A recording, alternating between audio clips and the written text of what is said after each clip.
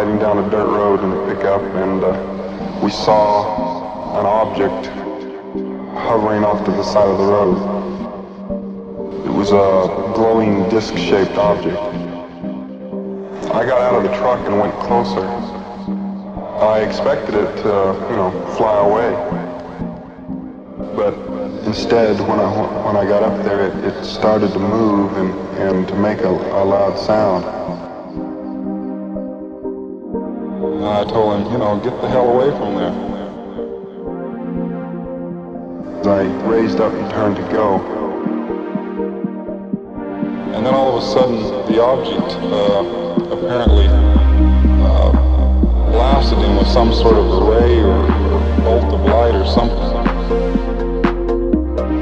I felt a numbing shock